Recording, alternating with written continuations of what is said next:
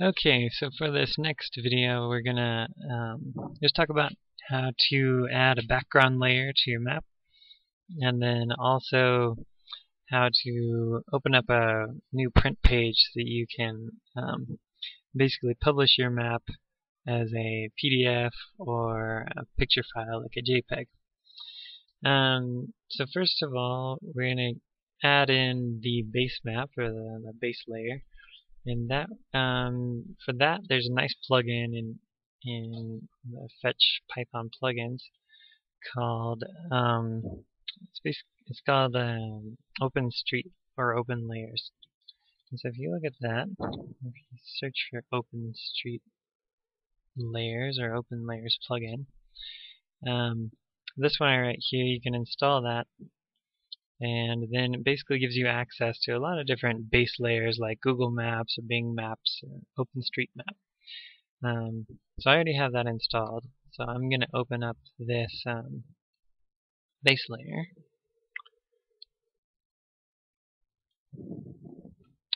Sometimes it takes a minute to load, but this one was really quick.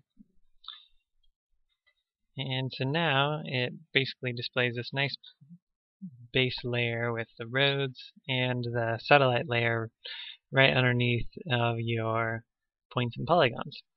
It kind of gives you a nice way to demonstrate um, your information.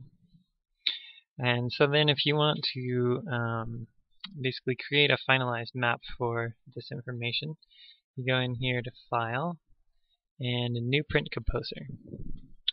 And from here, then you have to pull in your map. So um, you use this add new map button.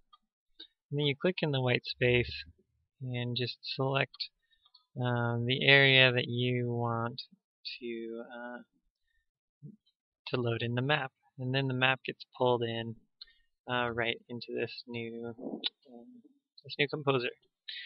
And then you can move the map information around a little bit to recenter it to where you where you like it in order to make this map a little bit more um, finalized, we need to put in things like a title, um, uh, a scale, a legend, and a north arrow. So uh, to do that, we'll start with adding a title. And so you just basically click this one here, this add new label. Then you click on the map, and then this new label shows up on the map.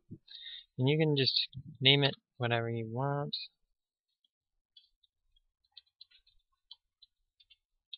I'll just name it Polygon 1. And then I'll change the font to make it a little bit more readable as a printed size.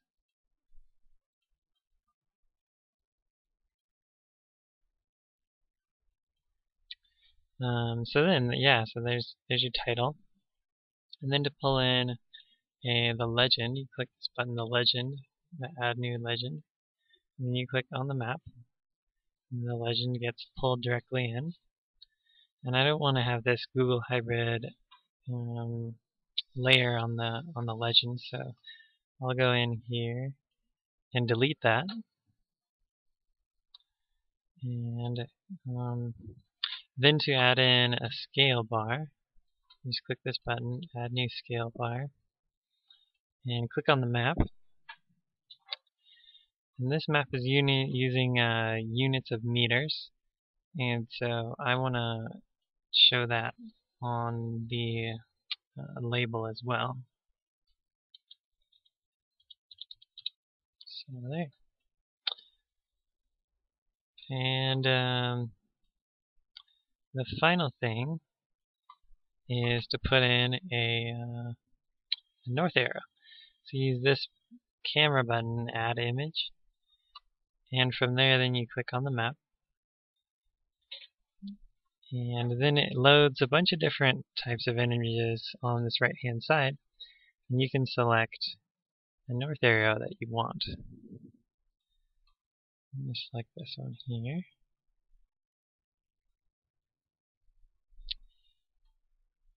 And so there you have like a, a map that's more um, it's more finalized. It has a title and a legend, a scale bar, a north arrow. and so that everything is a lot more uh, easily understandable um, when you go to save it as a uh, as a PDF or if you want to save it as an image file.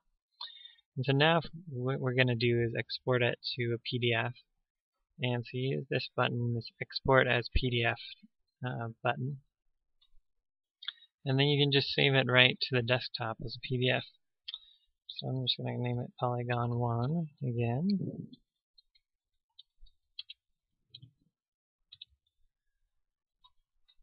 And basically just press save and then it takes a little bit of a minute because it prints it to a PDF. So, um, but then once it's done, you can go to the desktop. And you can see right here, I have the PDF document of my map. We'll go back into Quantum GIS and the Print Composer. There's also an option here uh, to export the same map as an image. So you can export it as a JPEG or a bitmap or a TIFF, um, whatever one kind of you want. I'm going to do this just to demonstrate it again. To the desktop and save. And then it's really fast. It saves it as a JPEG.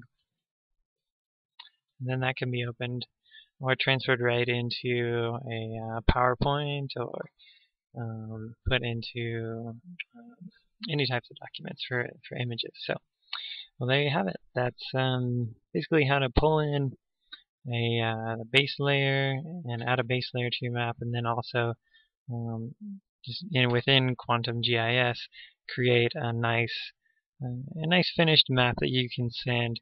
Uh, you can put into a document um, that helps people understand um, more about what you're trying to map. And so there you go.